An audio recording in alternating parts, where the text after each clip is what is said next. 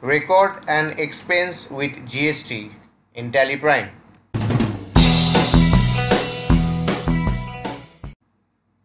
You can record an expense using a purchase voucher.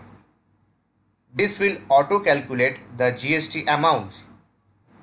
To record an expense using a purchase voucher, you need to go to the gateway of Tally, select vouchers and press F9. Press Ctrl plus H Select the accounting invoice mode from the list of modes. Select the party ledger and then the expense ledger along with the tax ledgers. Accept the screen as always you can press Ctrl plus A to save. Record an expense with GST in a journal voucher. You can record expense using a journal voucher as well. Here, you need to enter the GST amounts as they will not be auto-calculated. To record an expense using a journal voucher, you need to go to the gateway of Tally, select vouchers, press F7. To add the supplier invoice number, press F12.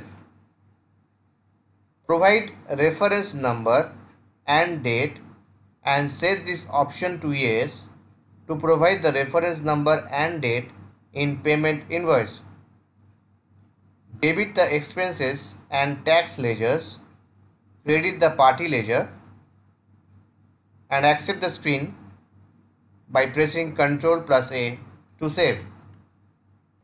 Book the expenses in payment voucher by selecting party details. Go to the gateway of Tally, select vouchers, press F5. Please note to add the voucher reference number and date, press F12 and enable the option use reference number in payment. Press F12 to change the configuration for the displayed report. Provide party details for GST and set this option to yes to provide the party details for GST. Modify tax rate details of GST. Set this option to yes to select the state and registration. Select the cash or bank ledger and enter the party details with state and registration type. Press enter select the expense ledger and the tax ledgers. Booking expenses in payment voucher by selecting the nature of transaction. Go to the gateway of Tally, select vouchers, press F5. To add the voucher reference number and date, you need to press F12. Set the option provide reference number and date to yes to provide the reference number and date in payment invoice. If the nature of transaction is not defined for the expense ledger but selected in the voucher, the message appears as shown in the screen.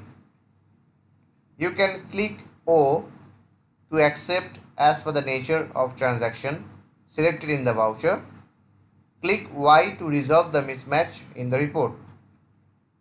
Press F12 and enable the option Modify tax rate details for GST. Select the expense ledger and predefined with GST rates. Select the nature of transaction based on the expense being booked. Select the GST ledgers. Accept the screen. As always, you can press Ctrl plus A to save. View the expenses under GSTR 2. All expenses get listed in GSTR 2. To view GSTR 2, go to the gateway of Tally, select Display More Reports, select Statutory Reports, select GST Reports, then select GSTR 2 Drill down from B2B invoices to view the list of vouchers. Thanks for watching.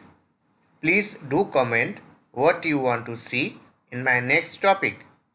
Please share my videos with your nearest one and don't forget to subscribe my channel to get the regular updates.